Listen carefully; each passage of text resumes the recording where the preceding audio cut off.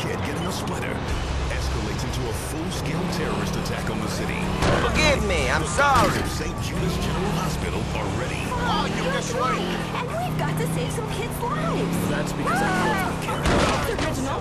I never... And lots of people die. Medicate me. It's a relaxing home entertainment drama filled full of Sorry about that. You see it happen. You're right.